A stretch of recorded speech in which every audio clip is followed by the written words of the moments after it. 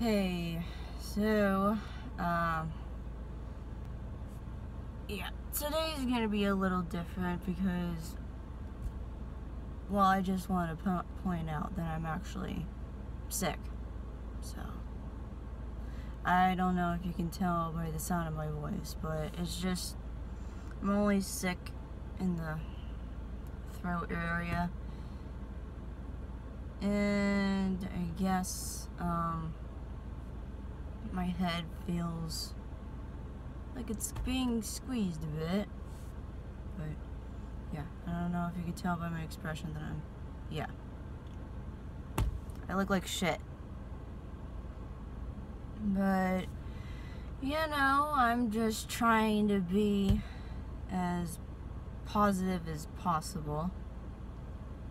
Uh, yeah, just put on a little makeup on, um, so that I don't look like complete shit. Um, so, I planned on doing some things today, like, um, going out and doing stuff or like buying stuff. Um, and also, I was thinking of seeing a movie today. Um, you know, because today is actually my day offs, and I don't know my schedule for next week. So, also, I don't know if I'm going to be talking a whole bunch today, because, you know. So, um, so yeah, one of the things that I need to do is, um, well, it's something for Christina's birthday. So, um, I'm not gonna really say because, for well, for one, she watches my vlogs, so I would rather it be a surprise. Um, and plus, we'll show it in a different vlog. So, so yeah, I just feel like blah. Uh, so yeah, I'm gonna leave my house and well, first of all, I need to get gas. First off, why do I always think that most of the time when I do vlogs, it's always when I need to get gas? Anybody else notice that? I, I don't know. But, yeah, I'm gonna do that thing. So. Okay, I just got gas. So, uh, yeah, I took my black sweater cardigan thing majiggy off because it's fucking hot. Ugh, fucking Florida. Ugh. So yeah, um, you know, I wear um, black for like rainy days and all that shit. But um, and you know, um, well, based on what the weather says, that it's supposed to rain sometime today, so that's why I wore black. And also because I feel like shit because I'm sick. So, you know, I wear, yeah, all black because of my mood, and it's fucking hot outside, so, ugh. Anyway, um, so yeah, I got gas now the thing I'm going to do next is um, try to find some uh, root dye because I don't know if you were able to tell in any of my past few videos, but I've got blonde roots growing in and it just looks weird with my black hair yeah my black hair so Now I'm not gonna, yeah, I'm just fixing up the root part because I'm giving my hair a break from all the, you know, dyeing and all that stuff. So I won't be completely uh, re-dyeing it, just the roots. Because it just looks fucking weird with the blonde hairs growing in. And then afterwards, uh, I might pay, pay a visit to the mall and, I don't know, walk around and see if anything piques my interest and see if I can find something for Christina maybe. I don't know.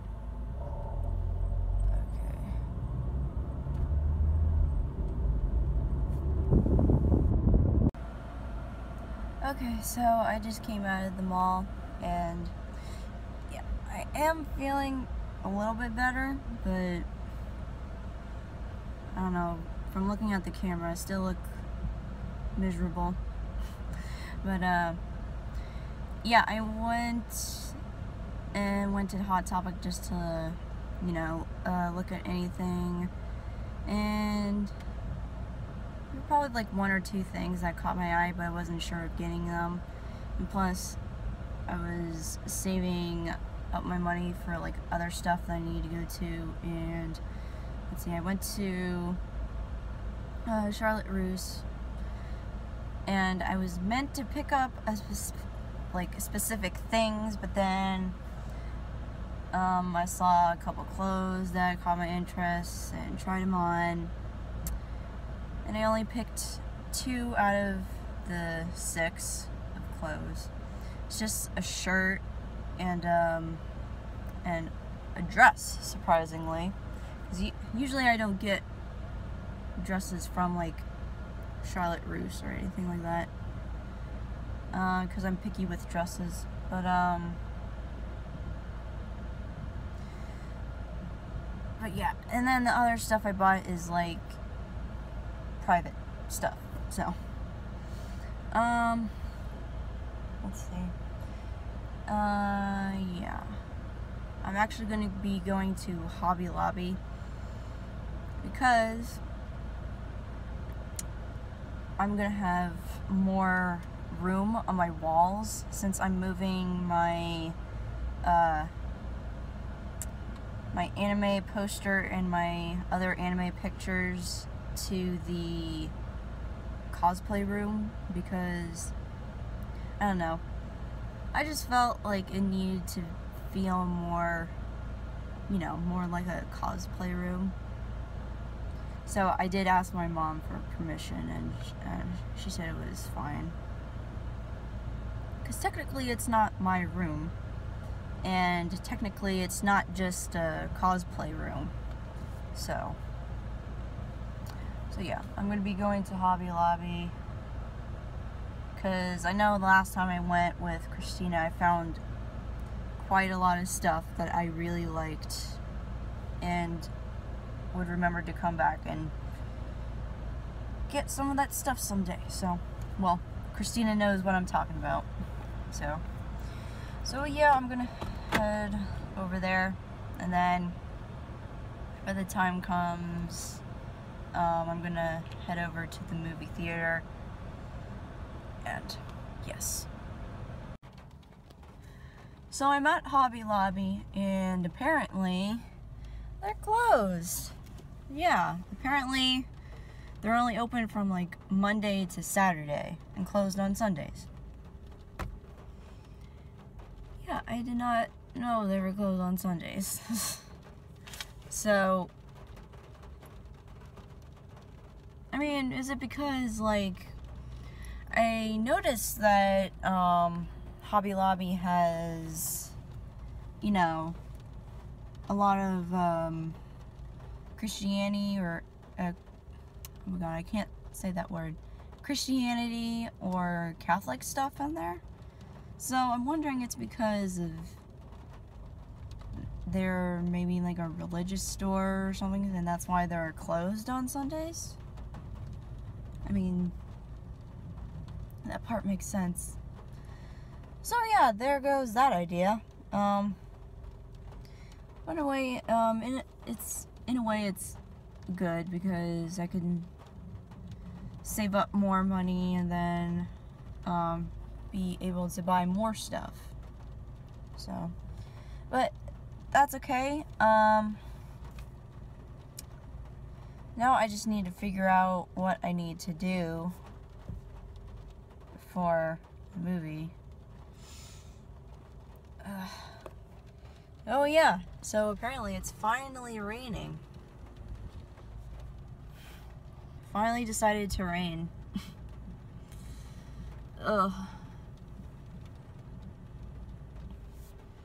Ugh. Even though I'm feeling better, I still feel blah, sick. Ugh.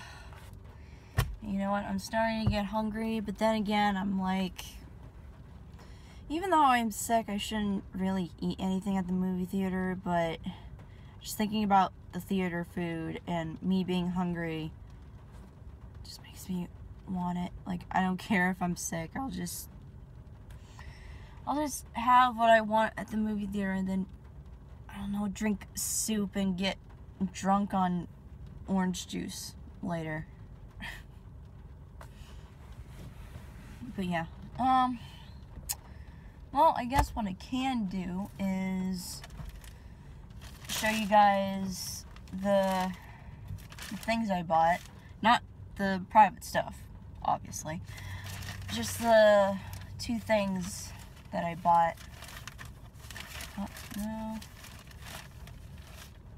I don't know how I'm gonna do this, but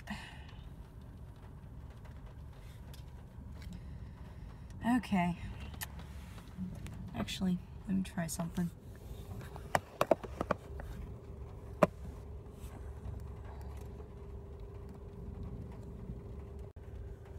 So, cool thing is, is that somewhere on my steering wheel, I found a perfect spot to put my phone.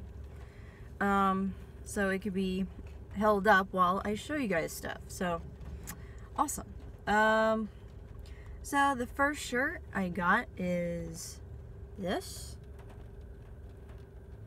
It's like a, a maroon type of shirt and it's got like a deep cut in the front and it's covered with um, a mesh or a fishnet type of material. So yeah, I've been starting to get into like um, shirts with like deep, deep cuts down the chest. And yeah, I was having trouble with this, with this shirt and another shirt but the deep cut on the chest was different. It didn't have a mesh or fishnet, um, you know, covering the cut of the shirt. It just had, it was just tied together with like strings, like like a corset. And I was trying to decide uh, which one to pick. So, um, yeah, I figured I already have like maybe one or two shirts that have the deep cut with the strings uh, keeping the cut together. So I figured I wouldn't get that shirt, but I would go with this shirt instead. So, um, and then the other th thing that I got was a dress. It's like a, I don't even know what color it is. Does it say on here? No. Okay. Um, it's like a, um,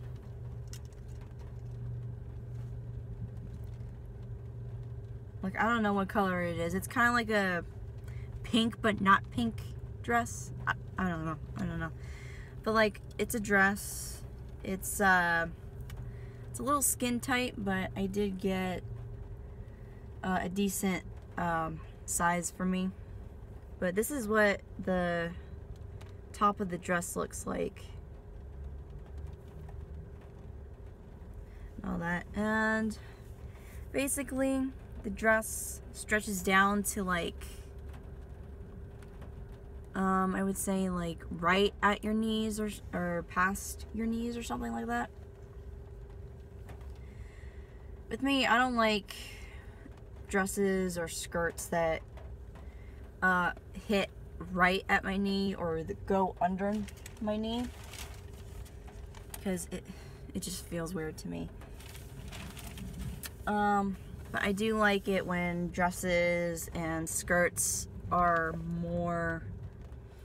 They have to be like a little above the knee or, or maybe an inch or two shorter than that, maybe.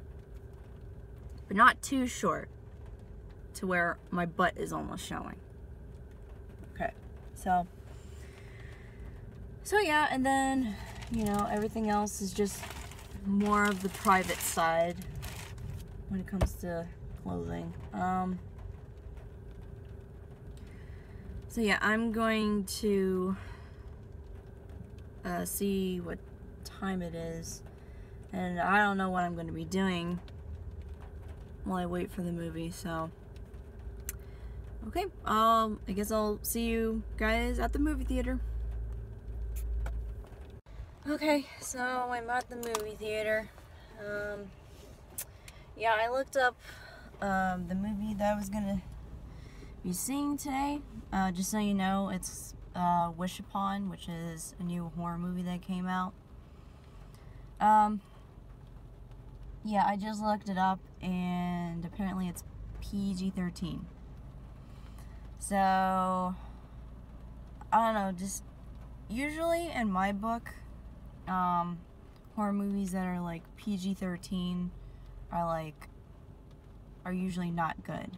So, um, and also uh, one of my one of the guys who does movie reviews that I subscribe to on YouTube, um, he went and saw the movie and apparently he gave he basically said in the review that it was bad, or in her, or in his terms, it's dog shit.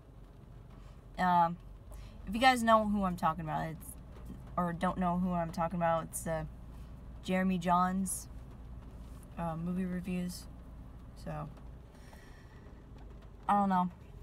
I'm hoping that it won't be bad because it looked good in the trailer. And movies have looked good in the trailer, but not good, the actual movie itself. But I'm keeping my fingers crossed for this one. Because I don't want to see like another bad movie like my cousin Rachel that I went to see a while ago. So, alright, I'm going to start heading on in before it rains any heavier. So, alright. Hey, so I made it back home. Um, from the movie. And I've got to say, um, I liked it. Like, it was good for a uh, PG-13 horror movie. Um, I guess basically I'll start with the box. I mean, okay, I won't, I'll really try not to spoil anything, okay? But, um, but one of the things I liked about this movie was um, the concept of the box and like the backstory. So basically, this box has Chinese writing all over it. And um, basically, the main girl, she doesn't know what it means or whatever. And um, she does take it somewhere to get translated and basically what the box does is um, the box grants you seven wishes um, and like um well yeah at the time just basically grants you seven wishes and um that the box belonged to a woman, a Chinese woman named, I think it was Lu Mei or something like that. And basically her backstory was like, she, um, her family died traumatically, and I think this is around like maybe before World War II, but anyway, it happened a long time ago. So, um, yes, so she took um, the most valuable thing that her family had, and that was the music box.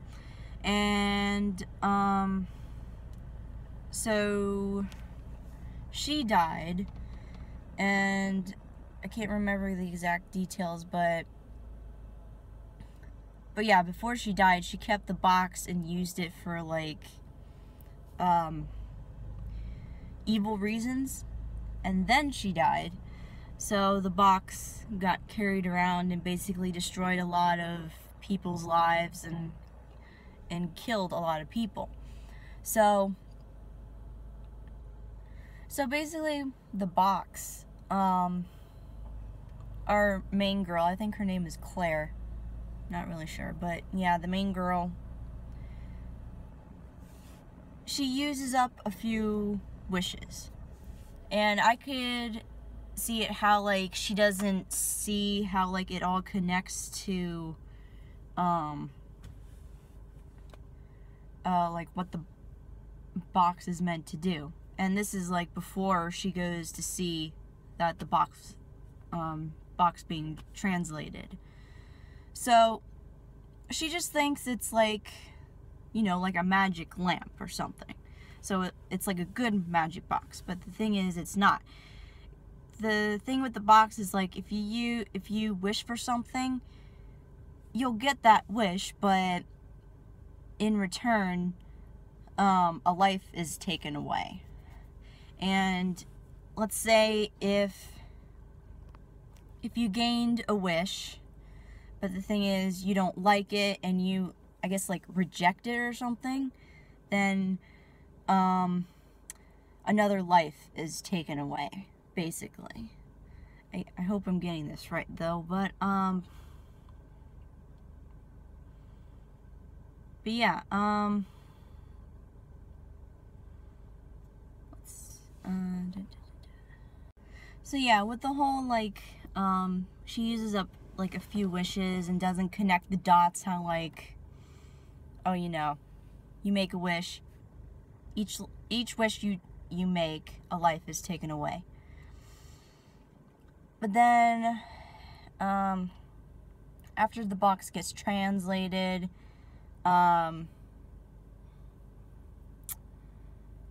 you know she finds out that the box is actually evil and that it takes takes lives away if you make a wish. But at first, I thought she was just being stupid because it's like she knew there were lives being taken away if she made a wish, but she was still, but she still wanted to make wishes and all that stuff. But then, as the movie moved on quite a bit, I understood, and it really showed how like the main character was being like obsessed with this magic box. Like like she was acting like crazy and like she was very jittery. And like she was like going mad if um if she didn't have the like box with her like at all times so um you know, basically, um, even though um, the box was doing all these killings, I was expecting like some sort of like demon to to show up or show its appearance. But it turns out um, no demon showed up.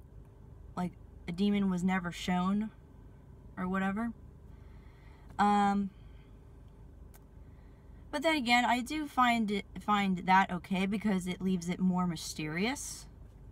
That we never get to see what the demon looks like that is, you know, working the magic box or whatever. Yeah, but um anyway, so near the end of the movie, the character um she basically finds a way to like you know make it seem like um how these wishes never worked out or she undid um like like she made it um I think it was her last wish where like she wished that um she can go back to the day when her dad gave her the box in the first place. So, you know, so you go back to the first day, everything is left uh, where it was left. Like, no wishes were made and no lives were taken away. Basically.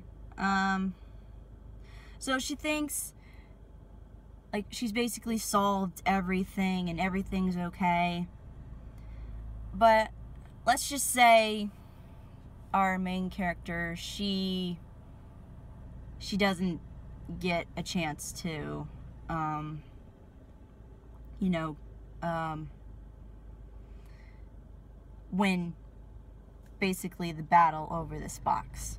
Just that's that's what I'll say. Like I really tried not to spoil everything, but I don't know how would how I would explain the ending and all that. But um but yeah, I thought it was it was good for a PG-13 movie. so Oh yeah, and some of the deaths um there were a few deaths that were like were kind of like eh like like not realistic type type of thing, but like but there there were some moments where like I was like I was like like cringing, you know. So um let's see, is there anything else? Um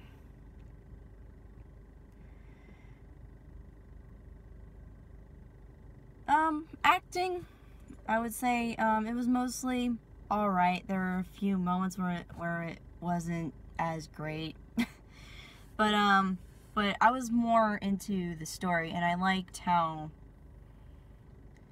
you know, based on a horror movie that's dealing with demonic um, subjects.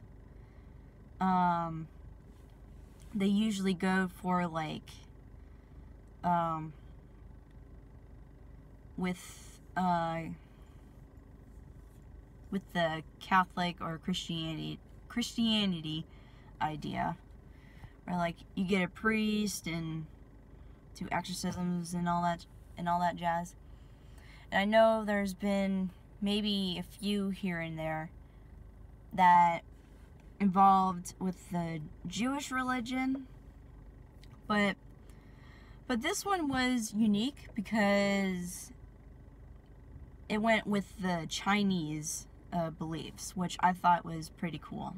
So, but yeah, um, that's basically it. I mean, I tried not to spoil as best as I best as I could, and yeah, that's it. And I'm glad that this vlog is ending on a good note.